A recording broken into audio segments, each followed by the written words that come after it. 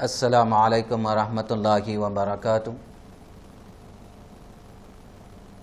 محترم ناظرین،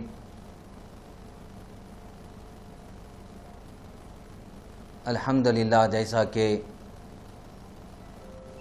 سبھی جانتے ہیں کہ درس حدیث کا سلسلہ جاری ہے۔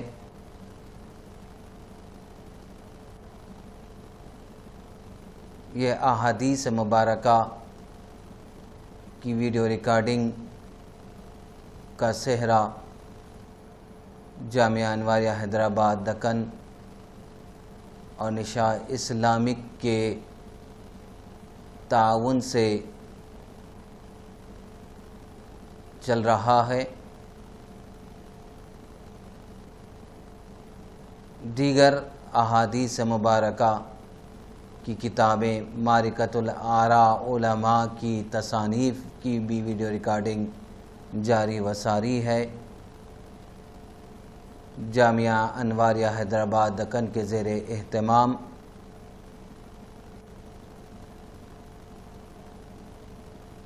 اور یہ کتاب ریاض الصالحین، حضرت العلامہ امام نووی رحمۃ اللہ علیہ کی مشہور تصنیف ہے اور آج درس حدیث کا گیارہواں باب پیش کیا جا رہا ہے۔ باب فی المجاہدتی۔ یہ باب مجاہدہ، ریاضت، محنت کے بیان میں ہے کہ راہ خدا میں جد و جہد کرنا، ریاضت کرنا، محنت کرنا اور پھر اس کے ثمرات کیا ہے؟ قرآن پاک کی آیات مبارکہ کی روشنی میں اور احادیث مبارکہ اس ضمن میں پیش کیے جائیں گے۔ تو آئے حضرت العلامہ امام نووی رحمۃ اللہ علیہ فرماتے ہیں باب فی المجاہدتی، قال اللہ تعالی والذین جاہدوا فینا لنہدینہم سبلنا وإن اللہ لمع المحسنین۔ یہ آیت مبارکہ سورہ انکبوت کی آیت مبارکہ ہے۔ اللہ تعالیٰ نے اشاد فرمایا، جو لوگ ہماری راہ میں مجاہدہ کرتے ہیں، ہم ان کو اپنے راستے کی ہدایت دیں گے۔ اور یقیناً اللہ تعالیٰ بھلائی کرنے والوں کے ساتھ ہے۔ اس آیت مبارکہ کی تشریح کرتے ہوئے مولانا نعیم الدین مراد آبادی علیہ الرحمہ خزائن العرفان میں لکھتے ہیں۔ حضرت ابن عباس رضی اللہ تعالی عنہما نے فرمایا کہ معنی یہ کہ جنہوں نے ہماری راہ میں کوشش کی، ہم انہیں ثواب کی راہ دیں گے۔ حضرت جنید نے فرمایا جو توبہ میں کوشش کریں گے انہیں اخلاص کی راہ دیں گے۔ حضرت فضیل بن ایاز رحمۃ اللہ علیہ نے فرمایا، جو طلب علم میں کوشش کریں گے، ہم انہیں عمل کی راہ دیں گے۔ حضرت سعد بن عبداللہ نے فرمایا، جو اقامت سنت میں یعنی سنت کے قائم کرنے میں کوشش کریں گے، ہم انہیں جنت کی راہ دکھا دیں گے۔ خزائن العرفان۔ اس باب کے متعلق دوسری آیت مبارکہ پیش خدمت ہے۔ وقال اللہ تعالی وعبد رب کا حتایات یہ کل یقین اللہ تعالیٰ نے اشاد فرمایا، اپنے رب کی عبادت کرو یہاں تک کہ تمہیں موت آ جائے۔ مزید آیات مبارکہ مجاہدہ اور ریاضت کے عنوان پر جو قرآن پاک میں اللہ رب العزت نے ارشاد فرمائے ہیں، پیش خدمت وَذْكُرِ اسْمَ رَبِّكَ وَتَبَتَّلْ إِلَيْهِ تَبْتِيلًا اللہ تعالیٰ نے ارشاد فرمایا، اپنے رب کا نام ذکر کرو اور ہر طرف سے کٹ کر اسی کا ہو جاؤ۔ وقال اللہ تعالی، فمن یعمل مثقال ذرة خیرا یرا اللہ تعالیٰ کا ارشاد، جو آدمی ذرہ بھر نیکی کرے گا، اس کو دیکھ لے گا۔ وقال اللہ تعالی وما تقدموا لانفسکم من خیر تجدوه عند اللہ هو خیر واعظم اجرا اللہ تعالیٰ کا ارشاد ہے، تم اپنے لیے جو نیکی آگے بھیجو گے، اس کو اللہ کے پاس بہتر اور بڑے اجر کے ساتھ پالو گے۔ وقال اللہ تعالی وما تنفقوا من خیر فإن اللہ به علیم۔ اللہ تعالیٰ کا ارشاد ہے، جو کچھ بھی تم مال خرچ کرو، اللہ تعالیٰ اس کو جانتا ہے۔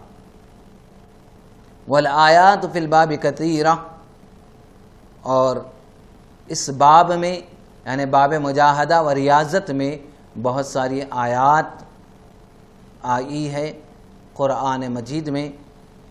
اسی پر اکتفا کرتے ہوئے احادیث مبارکہ کی طرف منتقل ہوتے ہیں۔ وَأَمَّ الْأَحَادِيثُ فَالْأَوَّلُ عَنْ أَبِي هُرَيْرَةَ رضی اللہ تعالی عنہ قال قال رسول اللہ صلی اللہ علیہ وسلم إن اللہ تعالی قال من عادى لي وليا فقد آذنت بالحرب وما تقرب إلي عبدي بشيء أحب إلي مما افترزت عليه وما يزال عبدي يتقرب إلي بالنوافل حتى أحبه. فإذا أحببته كنت سمعه الذي يسمع به وبصره الذي يبصر به ويده التي يبتش بها ورجله التي يمشي بها وإن سألني أعطيته وإن استعاذني لأعيذنه. رواه البخاري. آذنته أي معناه أعلمته بأني محارب له. استعاذني ربي بالنون وبالباء.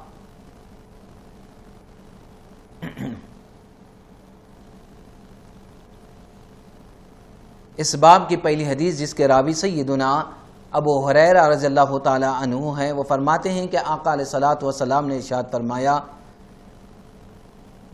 بے شک اللہ تعالیٰ کا ارشاد ہے، جس نے میرے کسی ولی سے دشمنی کی، میں اس سے جنگ کا اعلان کرتا ہوں۔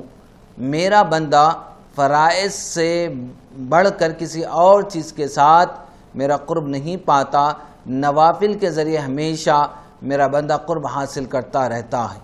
یہاں تک کہ میں اس کو محبوب بنا لیتا ہوں۔ پھر جس وقت میں اس کو محبوب بنا لیتا ہوں تو میں اس کے کان بن جاتا ہوں جن سے وہ سنتا ہے۔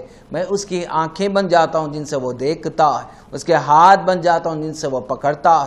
اس کا پاؤں بن جاتا ہوں جن سے وہ چلتا ہے۔ اگر وہ مجھ سے سوال کرے تو میں اس کو عطا کرتا ہوں۔ اگر وہ پناہ چاہے تو میں اس کو پناہ دیتا ہوں۔ رواہ البخاری۔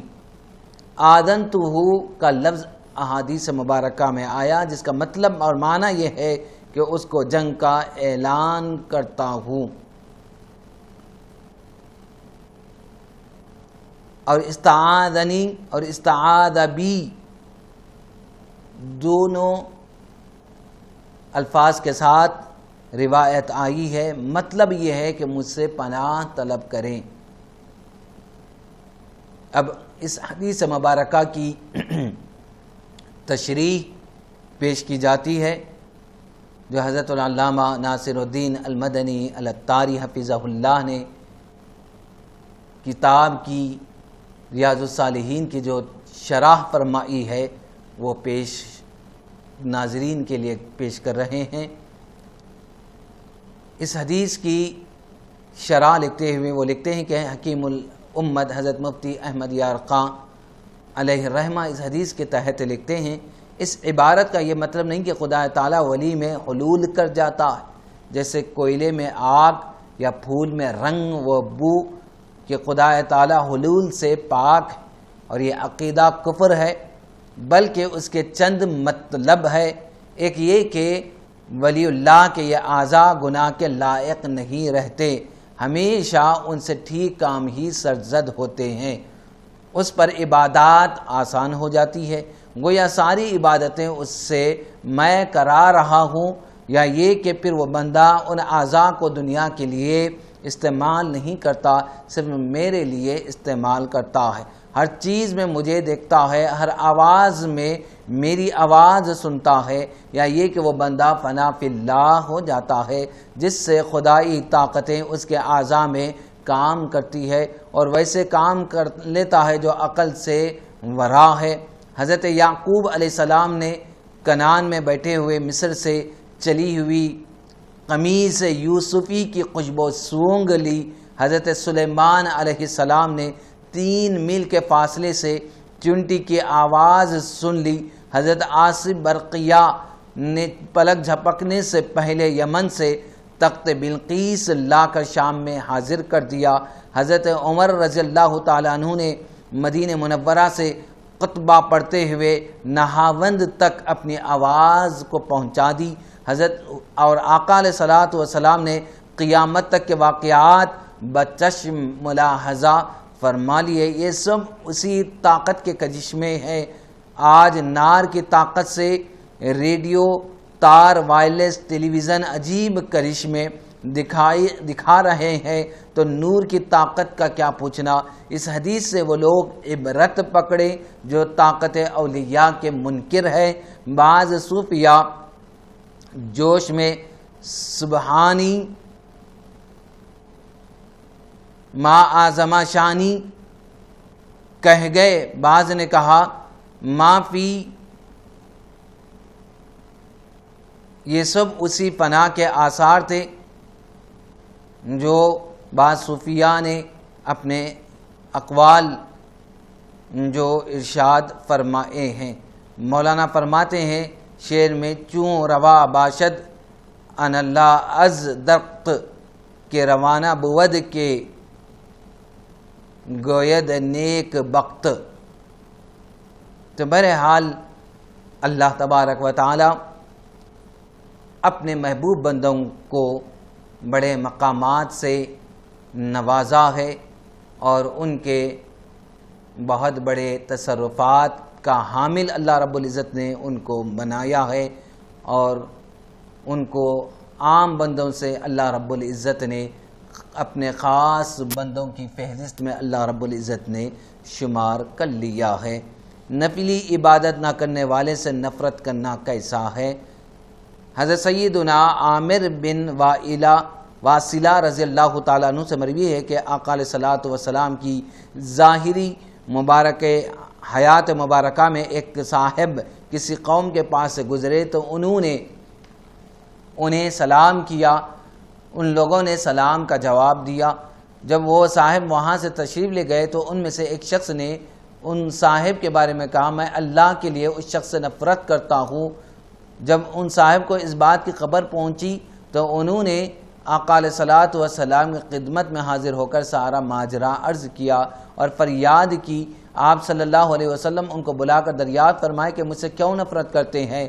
نبی اکرم صلی اللہ علیہ وسلم نے اسے بلوا کر پوچھا، تو انہوں نے اقرار کیا، میں نے یہ بات کہی ہے۔ ارشاد فرم تم اس سے کیوں نفرت کرتے ہو؟ عرض کی، میں ان صاحب کا پڑوسی ہوں، میں ان کی بھلائی کا قاہا ہوں۔ خدا عز و جل کی قسم، میں نے کبھی بھی فرض نماز کے علاوہ انہیں نفل نماز پڑھتے ہوئے نہیں دیکھا۔ جبکہ فرض نماز تو ہر ایک، ہر نیک و بد پڑھتا ہے فریادی صاحب نے عرض کی، یا رسول اللہ، ان سے پوچھے کیا انہوں نے مجھے فرض نماز میں تاخیر کرتے ہوئے دیکھا ہے؟ میں نے وضو میں کوئی کوئی تاہی کی ہے یا رکوع و سجود میں کوئی کمی کی ہے؟ آپ صلی اللہ علیہ وسلم پوچھا تو انہوں نے انکار کرتے ہوئے عرض کی، میں نے اس میں ایسی کوئی بات نہیں دیکھی پھر اس نے مزید عرض کی، اللہ عز و جل کی قسم، میں ان صاحب کو رمضان مبارک کے علاوہ کبھی نفلی روزے رکھتے ہوئے نہیں دیکھا۔ یعنی ماہ رمضان المبارک کا روزہ تو ہر نیک و بد رکھتا یہ سن کر فریادی نے عرض کی، یا رسول اللہ، ان سے پوچھے، کیا میں نے کبھی رمضان المبارک میں روزہ چھوڑا ہے؟ یا روزے کے حق میں کوئی کمی کی ہے، پوچھنے پر انہوں نے عرض کی نہیں۔ پھر اس نے کہا، اللہ کی قسم، میں نے نہیں دیکھا ان صاحب نے زکوٰۃ کے علاوہ کسی مسکین اسائل کو کچھ دیا ہو۔ اللہ کے راستے میں خرچ کیا ہو۔ زکوٰۃ تو ہر نیک و بد ادا کرتا ہے۔ فریادی نے عرض کی، یا رسول اللہ صلی اللہ علیہ وسلم، ان سے پوچھیے کیا انہوں نے مجھے زکوٰۃ کی ادائی میں کوتاہی کرتے ہوئے دیکھا ہے؟ یا میں نے کبھی اس میں تالم ٹولی سے کام لیا ہے؟ دریافت کرے انہوں نے عرض کی نہیں۔ حضور علیہ صلاۃ والسلام نے اس نفرت کرنے والے سے فرمایا، اٹھ جاؤ، شاید یہ تم سے بہتر ہو۔ یہ روایت مسند امام احمد نے اپنی مسند میں نقل کیا ہے۔ بروز قیامت فرائض کی کمی نوافل سے پوری کی جائے گی۔ آقا نے صلاۃ وسلام نے ارشاد فرمایا، بندے کا قیامت کے دن سب سے پہلے جس چیز کا حساب ہوگا وہ نماز ہے۔ اگر وہ مکمل ہوئی تو اس کے لیے کامل ہونا لکھ دیا جائے گا۔ اور اگر وہ مکمل نہ ہوئی تو اللہ عز و جل اپنے فرشتوں سے ارشاد فرمائے گا۔ ذرا دیکھو، کیا تم میرے بندے کے پاس نوافل پاتے ہو؟ لہذا وہ اس بندے کے فرائض کو اس کے نوافل سے مکمل کر دیں گے، پھر زکوٰۃ کا اسی طرح حساب ہوگا اور اس کے بعد بقیہ اعمال کا حساب بھی اسی طرح ہوگا۔ مزید اس بارے میں آقا علیہ صلاۃ وسلام کے ارشادات بیان کیے گئے ہیں۔ آقا علیہ صلاۃ وسلام فرماتے ہیں، سب سے پہلے قیامت کے دن بندے سے اس کی نماز کا حساب لیا جائے گا۔ اگر وہ کامل ہوئی تو کامل لکھ دی جائے گی اور اگر مکمل نہ ہوئی تو اللہ عز و جل اپنے فرشتوں سے ارشاد فرمائے گا، کیا تم میرے بندے کے پاس کوئی نفل پاتے ہو؟ تو وہ اس کے فرائض کو اس کے نوافل کے ذریعے پورا کر دیں گے۔ پھر اسی طرح زکوٰۃ اور دیگر اعمال کا حساب لیا جائے گا۔ سنن ابی داود پھر آقا علیہ صلاۃ وسلام کا اور ایک ارشاد گرامی ہے کہ قیامت کے دن بندے سے سب سے پہلے جس چیز کے بارے میں پوچھا جائے گا، وہ یہ کہ اس کی نماز دیکھی جائے گی۔ اگر وہ صحیح ہوگی تو وہ نجات پا جائے گا۔ اگر وہ صحیح نہ ہوئی تو وہ خائب و قاصر ہوگا یعنی ناکام ہوگا۔ پھر آقا علیہ صلاۃ وسلام کا اس بارے میں ارشاد گرامی پیش ہے کہ بندے سے سب سے پہلے اس کی نماز کا حساب لیا جائے گا۔ اور اگر وہ صحیح ہوئی تو بقیہ سارے اعمال بھی صحیح ہو جائیں گے۔ اور اگر صحیح نہ ہوئی تو بقیہ سارے بھی اعمال برباد ہو جائیں گے۔ پھر اللہ عز و جل نشاد فرمائے گا، دیکھو کیا میرے بندے کے پاس کوئی نفلی عبادت بھی ہے؟ تو اگر اس کے پاس نفل ہوئے تو ان سے فرضوں کو پورا کر دے گا۔ اور پھر اس کے بعد اللہ عز و جل کی رحمت سے دوسرے فرائض کا حساب ہوتا رہے گا۔ اور ایک آقا علیہ صلاۃ وسلام کا اس بارے میں ارشاد گرامی پیش ہے کہ حضور فرماتے ہیں کہ ایک مرتبہ صحابہ کرام رضوان اللہ تعالی المجمعین میں سے کسی کو ارشاد فرمایا، رات کو زیادہ نہ سویا کرو، کیونکہ شب بھر سونے والا نفلی عبادت نہ کرنے کے باعث بروز قیامت نیکیوں کے سلسلے میں فقیر ہوگا یعنی قالی ہاتھ ہوگا۔ تو بہرحال نوافل کا پڑھنا، اس سے فرائض میں جو کوتاہی ہو جاتی ہے، اس سے، اس کمی کو پورا کیا جائے گا۔ اور نوافل کے ذریعے سے بلند مقامات کو وہ آسانی سے بندہ مومن طے کر سکتا ہے۔ اس باب کی دوسری حدیث پیش خدمت ہے۔ حضرت اللہ امام نووی رحمۃ اللہ علیہ فرماتے ہیں، الثانی ان انس رضی اللہ تعالیٰ عنہ نبی صلی اللہ علیہ وسلم فیما یرویہ ان ربہ عز و جل قال، اذا تقرب العبد الی شبرا تقربت الیہ ذراعا، و اذا تقرب الی ذراعا تقربت منہ باعا، و اذا اتانی یمشی اتیتہ ہر ولطن رواہ البقاری۔ اس حدیث کی دوسری، اس باب کی دوسری حدیث، جس کے راوی سیدنا انس بن مالک رضی اللہ تعالی عنہ ہے۔ وہ فرماتے کہ آقا علیہ صلاۃ وسلام ارشاد فرماتے ہیں کہ جب بندہ ایک بالشت میرے آقا علیہ صلاۃ وسلام آقا اللہ رب العزت کا ارشاد روایت کرتے ہیں کہ اللہ رب العزت نے فرمایا کہ جب بندہ ایک بالشت میرے قریب ہوتا ہے تو میں ایک ہاتھ اس کے قریب ہوتا ہوں اور جب وہ ایک ہاتھ قریب ہوتا ہے تو میں دو ہاتھ اس کے قریب ہوتا ہوں اور جب وہ آرام سے چلتے ہوئے آئے تو میں دوڑ کر اس کے لیے آتا ہوں۔ رواہ البخاری۔ اس کو امام بخاری نے اپنی صحیح میں نقل فرمایا ہے۔ اس حدیث مبارکہ کے ترجمے کے بعد حدیث کی تشریح کی طرف ہم متوجہ ہوتے ہیں۔ سب قبیاں اللہ عز و جل کے لیے ہے، جو ایسا رحیم ہے کہ اپنے رحم دل بندوں پر بے انتہا رحم فرماتا ہے۔ وہ ایسا کریم ہے جو نافرمانوں پر بھی جود و کرم کی اپنی ثقاوت کی بارش برساتا ہے۔ وہ ایسا حلیم ہے جب کسی گناہ گار کو اپنی لغزش نافرمانی پر حسرت وہ ندامت کرتے ہوئے ملاحظہ فرماتا ہے تو اس کی پردہ پوشی فرماتا ہے۔ وہ ایسا علیم ہے کہ دلوں کے بھید جانتا ہے، نیتوں پر مطلع ہے اور زمین و آسمان کی کوئی شے بھی اس سے پوشیدہ نہیں۔ وہ ایسا عظیم ہے کہ کسی بھی گناہ کو معاف کرنا اس کے لیے دشوار و مشکل نہیں۔ وہ کسی کے عیب کو دیکھتا ہے تو محض اپنے فضل و نعمت سے چھپا دیتا ہے، کیونکہ اس کی رحمت، اس کے غضب پر حاوی ہے۔ اس نے مومنین کو گناہ اور گمراہی سے نکالنے کے لیے ارشاد فرمایا، وہ رحمتی وسیعت اللہ شے میری رحمت ہر چیز کو گھیری ہوئی ہے۔ یہ بس وہ لغزشوں اور گناہوں کو بخش دیتا ہے اور جس شخص نے اللہ عز و جل کے حرام کردہ کام کو مجبور ہو کر اختیار کیا، وہ گناہ گار نہ ہوگا۔ اور جس نے اس کی بارگاہ میں توبہ کر لی، وہ اسے نجات عطا فرمائے گا۔ اور جس نے اس پر توقل بھروسہ کیا، تو وہ ہر معاملے میں اسے کافی ہو جائے گا۔ حضرت سیدنا ابو حریرہ رضی اللہ تعالیٰ سے روایت ہے کہ آقال صلاحت وسلام نے فرمایا، اللہ عز و جل فرماتا میں اپنے بندے کے مجھ سے کیے جانے والے گمان کے قریب ہوتا ہوں اور جب وہ میرا ذکر کرتا ہے تو میری رحمت اس کے ساتھ ہوتی ہے۔ پھر آقا علیہ صلاۃ وسلام نے فرمایا، خدا کی قسم، تم میں سے کسی شخص کو بیابان میں اپنا گم شدہ مال مل جانے پر خوشی ہوتی ہے۔ اللہ عز و جل اپنے بندے کی توبہ پر اس سے بھی زیادہ خوش ہوتا ہے۔ پھر فرمایا کہ رب رب عز و جل فرماتا جو ایک بالشت میرے قریب ہو، میری رحمت ایک ہاتھ اس کے قریب ہو جاتی ہے۔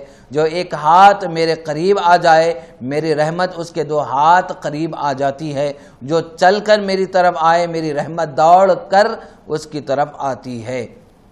حضرت سیدنا عبداللہ ابن مسعود رضی اللہ تعالیٰ فرماتے کہ میں نے آقا علیہ السلاۃ وسلام کو فرماتے ہوئے سنا بے شک اللہ عز و جل مومن بندے کی توبہ پر اس شخص سے زیادہ خوش ہوتا ہے جو کسی ہلاکت قیس پتھریلی زمین پر پڑاؤ کرے۔ یعنی رکے، اس کے ساتھ اس کی سواری بھی ہو، جس پر اس کے کھانے پینے کا سامان لدا ہوا ہو، پھر وہ زمین پر سر رکھ کر سو جائے اور جب بیدار ہو تو اس کی سواری جا چکی ہو۔ تو وہ اسے تلاش کرے یہاں تک کہ گرمی اور شدت پیاس یا جس وجہ سے اللہ عز و جل چاہے، وہ پریشان ہو کر کہیں کہ میں اسی جگہ لوٹ جاتا ہوں جہاں سو رہا تھا اور پھر سو جاتا ہوں، یہاں تک کہ مر جاؤں۔ پھر وہ اپنی کلائی پر سر رکھ کر مرنے کے لیے سو جائے۔ پھر جب بیدار ہوا تو اس کے پاس اس کی سواری موجود ہو اور اس پر اس کا توشہ بھی موجود ہو۔ تو اللہ عز و جل مومن بندے کی توبہ پر اس شخص کے اپنی سواری کے لوٹنے پر خوش ہونے سے بھی زیادہ خوش ہوتا ہے۔ حضرت سیدنا ابو سعید قدری رضی اللہ تعالیٰ عنہ سے روایت ہے کہ آقا علیہ صلاۃ وسلام نے فرمایا، تم سے پہلے ایک شخص نے ننانوے قتل کیے تھے، جب اس نے اہل زمین میں سب سے بڑے عالم کے بارے میں پوچھا تو اسے ایک راہب، ایک عالم کے بارے میں بتایا گیا۔ پھر وہ اس کے پاس آیا اور اسے کہا کہ میں نے ننانوے قتل کیے ہیں، کیا میرے لیے توبہ کی کوئی صورت ہے؟ راہم نے جواب دیا نہیں، پھر اس نے اسے بھی قتل کر دیا اور سو کا عدد پورا کر لیا۔ پھر اس نے اہل زمین کے سب سے بڑے عالم کے بارے میں سوال کیا، تو اسے ایک عالم کے بارے میں بتایا گیا۔ تو اس نے اس عالم سے کہا، میں نے سو ناحق قتل کیے ہیں، کیا میرے لیے توبہ کی کوئی صورت ہے؟ اس نے جواب دیا ہاں اللہ عز و جل اور توبہ کے درمیان کیا چیز رکاوٹ بن سکتی ہے؟ فلاں فلاں علاقے کی طرف جاؤ، وہاں کچھ لوگ اللہ عز و جل کی عبادت کرتے ہیں۔ ان کے ساتھ مل کر اللہ عز و جل کی عبادت کرو اور اپنے علاقے کی طرف واپس نہ آنا، کیونکہ یہ برائی کی سرزمین ہے۔ وہ قاتل اس علاقے کی طرف چل نکلا، جب وہ آدھے راستے میں پہنچا تو اسے موت آ گئی۔ تو رحمت اور عذاب کے فرشتے اس کے بارے میں بحث کرنے لگے۔ رحمت کے فرشتے کہنے لگے کہ یہ بارگاہ الہی عز و جل میں توبہ کی نیت سے اس کی طرف آیا تھا، جبکہ عذاب کے فرشتے کہنے لگے، اس نے کبھی کوئی اچھا کام نہیں کیا۔ تو ان کے پاس ایک فرشتہ انسانی صورت میں آیا اور انہوں نے اسے سالس مقرر کر لیا۔ اس فرشتے نے ان سے کہا، دونوں طرف کی زمینوں کو ناپ لو۔ یہ جس زمین کے قریب ہوگا، اسی کا حقدار ہے۔ جب زمین ناپی گئی، تو وہ اس زمین کے قریب تھا جس کے ارادے سے وہ اپنے شہر سے نکلا تھا۔ لہٰذا رحمت کے فرشتے اسے لے گئے۔ ایک روایت میں کہ وہ صالحین کے شہر سے ایک بالشت قریب تھا، لہٰذا انہی میں سے کر دیا گیا ہے۔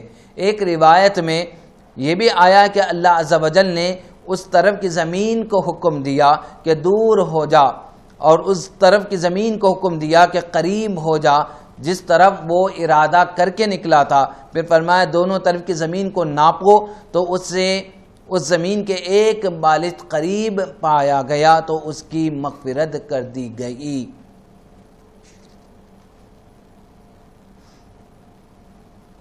یہ توبہ کے متعلق احادیث مبارکہ پیش کیے گئے۔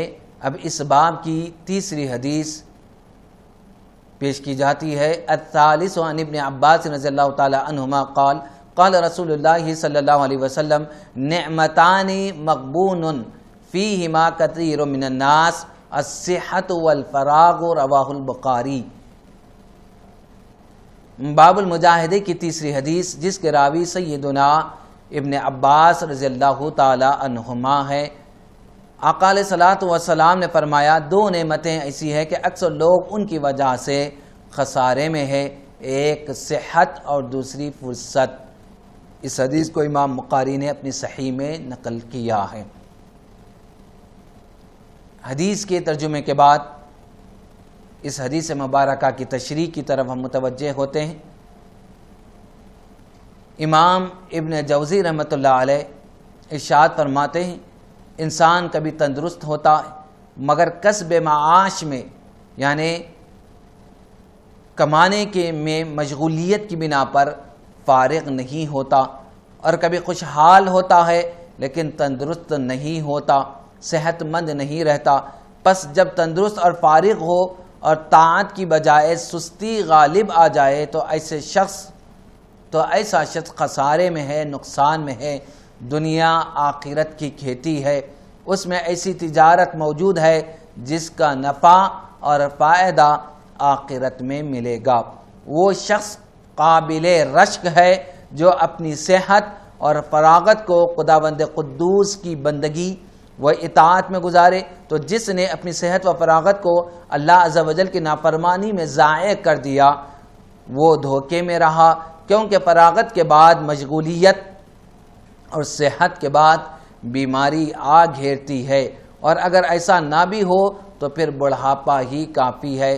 جیسا کہ کسی شاعر نے کہا ہے، یسر الفتح طول السلامت والبقا فقی ترا طول السلامت یفعل، یرد الفتح بعد اعتدال و صحت ینوع اذا رام القیام و یحمل یعنی لمبی عمر اور طویل سلامتی نوجوان کو خوش کرتی ہے۔ اے انسان، تو کیسے سمجھتا ہے کہ طویل سلامتی ایسا کرتی رہے گی؟ یعنی یہ ہمیشہ باقی رہے گی۔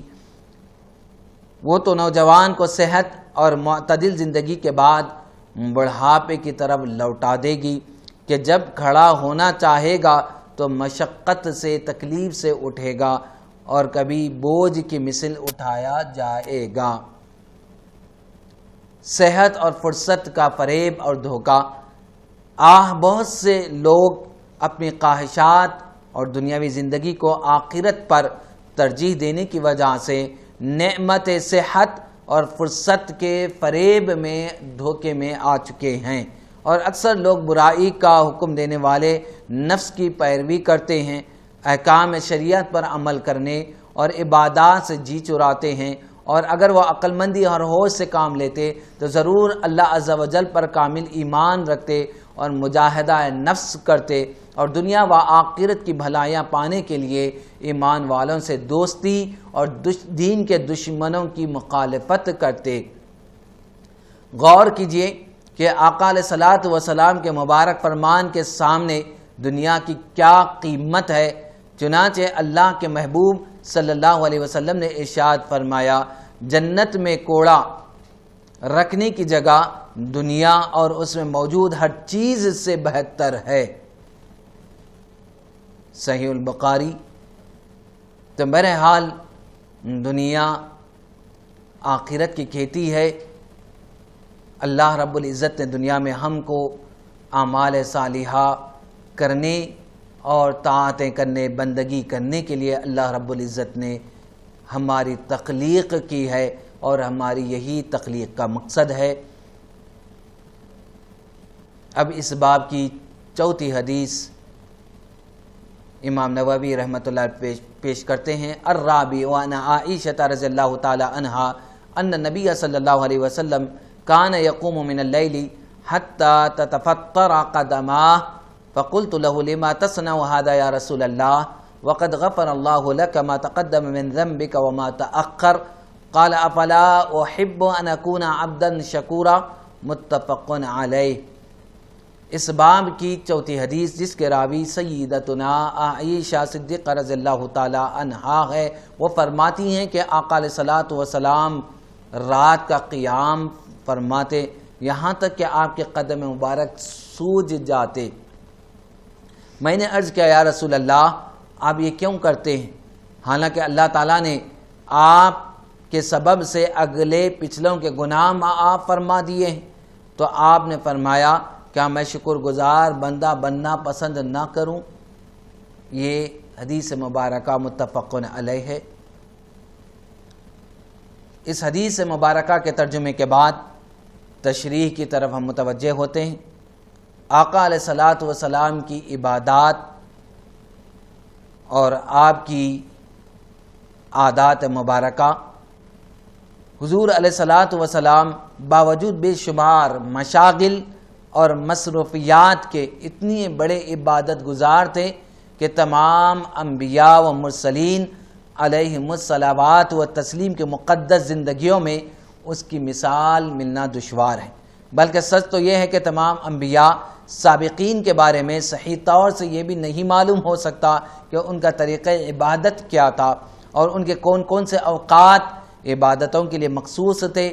تمام انبیاء کرام علیہ السلام کی امتوں میں یہ فقر صرف آقا علیہ صلاۃ وسلام کے صحابہ رضوان اللہ تعالی المجمعین ہی کو حاصل ہے کہ انہوں نے اپنے پیارے آقا علیہ صلاۃ وسلام کی عبادات کے تمام طریقوں اور ان کے اوقات و کیفیات، غرض اس کے ایک ایک جزئیے کو محفوظ رکھا۔ گھروں کے اندر اور راتوں کی تاریکیوں میں آقا علیہ صلاۃ وسلام جو اور جس قدر عبادتیں فرماتے تھے، ان کو ازواج متحرات رضوان اللہ تعالی المجمعین نے دیکھ کر یاد رکھا۔ اور ساری امت کو بتا دیا اور گھر کے باہر کی عبادتوں کو حضرات صحابہ رضوان اللہ تعالی المجمعین نے نہایت ہی اہتمام کے ساتھ اپنی آنکھوں سے دیکھ کر اپنے ذہنوں میں محفوظ کر لیا اور آپ صلی اللہ علیہ وسلم کے قیام و قعود، رکوع و سجود اور ان کی کمیات و کیفیات، اذکار و اور دعاؤں کے بے الفاظ یہاں تک کہ آپ صلی اللہ علیہ وسلم کے ارشادات خصو و خشو کی کیفیات کو بھی اپنی یاداشت کے خزانوں میں محفوظ کر لیا۔ پھر امت کے سامنے ان عبادتوں کا اس قدر چرچا کیا کہ نہ صرف کتابوں کے اوراق میں وہ محفوظ ہو کر رہ گئے، بلکہ امت کے ایک ایک فرد یہاں تک کہ پردہ نشین خواتین کو بھی ان کا علم حاصل ہو گیا۔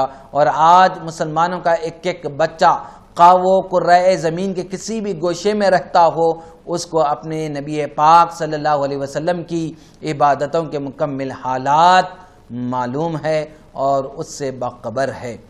حضرت سیدنا محمد بن معاویہ رحمت اللہ علیہ فرماتے ہمیں، ہمارے شیخ نے بتایا، ایک مرتبہ حضرت سیدنا یونس علی نبینا و علیہ السلاۃ وسلام اور حضرت سیدنا جبرائیل علیہ السلام کی آپس میں ملاقات ہوئی۔ حضرت سیدنا یونس علیہ السلام نے حضرت سیدنا جبرائیل علیہ السلام سے فرمایا، مجھے کسی ایسے شخص کے پاس لے چلو جو زمین میں سب سے بڑا عبادت گزار ہو۔ چنانچہ حضرت سیدنا جبرائیل علیہ السلام آپ کو ایک ایسے شخص کے پاس لے گئے جو جزام کا مریض تھا اور اس بیماری کی وجہ سے اس کے پاؤں گڑ سڑ کر جسم سے جدا ہو گئے تھے۔ وہ صابر و شاکر شخص کہہ رہا تھا، اے میرے پاک پروردگار عز و جل، جب تک تو نے چاہا ان اعضاء سے مجھے فائدہ بخشا اور جب تو نے چاہا لے لیا، تیرا شکر ہے تو نے میری امید صرف اپنی ذات میں باقی رکھی۔ اے میرے پروردگار، میرا مطلوب تو بس تو ہی تو ہے یعنی میں تیری رضا پر راضی ہوں۔ اس شخص کو دیکھ کر حضرت سیدنا یونس علیہ السلام نے حضرت جبرائیل علیہ السلام سے فرمایا، اے جبرائیل، میں نے تو تجھے ایسے شخص کے بارے میں کہا تھا جو بہت زیادہ نماز پڑھنے والا ہو اور خوب روزے رکھنے والا ہو۔ یہ سن کر جبرائیل علیہ السلام نے کہا، ان مصیبتوں کے نازل ہونے سے پہلے یہ خوب روزے رکھتا اور خوب نمازیں پڑھتا تھا اور مجھے یہ حکم دیا گیا کہ میں اس کی آنکھیں بھی لے لوں۔ یہ کہہ کر حضرت سیدنا جبرائیل علیہ السلام نے اس شخص کی آنکھوں کی طرف اشارہ کیا تو اس کی دونوں آنکھیں بھی باہر امنڈ آئی۔ عابد پھر وہی الفاظ دہرانے لگا، اے میرے مالک حقیقی، جب تک تو نے چاہا، مجھے ان آنکھوں سے فائدہ بخشا اور جب چاہا لے لیا اور اپنی ذات میں میری محبت کو باقی رکھا، اے مولا تیرا شکر ہے، میرا مطلوب تو بس تو ہی تو ہے۔ یہ حالت دیکھ کر حضرت سیدنا جبرائیل علیہ السلام نے اس عظیم صابر و شاکر شخص کہا، آؤ ہم سب مل کر دعا کرتے ہیں کہ اللہ عز و جل تجھے تیری آنکھیں اور ہاتھ پاؤں لوٹا دے اور تجھے اس بیماری سے شفا عطا فرمائے تاکہ تم پہلے کی طرح عبادت کرو اور روزے رکھو، وہ شخص کہنے لگا، میں اس بات کو پسند نہیں کرتا۔ حضرت جبرائیل علیہ السلام نے فرما آخر کیوں تم اس بات کو پسند نہیں کرتے؟ وہ عابد بولا، اگر میرے رب عز و جل کی رضا اسی میں ہے کہ میں بیمار رہوں، تو پھر مجھے تندرستی و صحت نہیں چاہے۔ میں تو اپنے رب عز و جل کی رضا پر راضی ہوں، وہ مجھے جس حال میں رکھے، میں اسی میں راضی ہوں۔ اس عابد کی یہ گفتگو سن کر حضرت سیدنا یونس علیہ السلام نے فرمایا، اے جبرائیل علیہ السلام، واقعی میں نے آج تک اس سے بڑھ کر کوئی عبادت گزار شخص نہیں دیکھا۔ حضرت جبرائیل علیہ السلام نے کہا، یہ ایسا عظیم راستہ ہے کہ رضا الہی عز و جل کے حصول کے لیے اس سے افضل کوئی اور راستہ نہیں۔ ہم یہیں پر، ہم احادیث مبارکہ کا اختتام کرتے ہیں۔ مزید اس باب کا سلسلہ ابھی جاری ہے اور مزید احادیث مبارکہ اس باب کے باقی ہے۔ انشاءاللہ آئندہ نشست میں اس کو مکمل کیا جائے گا۔ اللہ رب العزت سے دعا کرتے ہیں باری تعالی ہمیں بھی تیری عبادت کرنے، بندگی کرنے کی توفیق، مرحمت فرما اور ہم سب کو اپنی رضا اور خوشنودی نصیب فرما۔ و آخر دعوانا ان الحمد للہ رب العالمین۔ وما علینا الا البلاغ المبین۔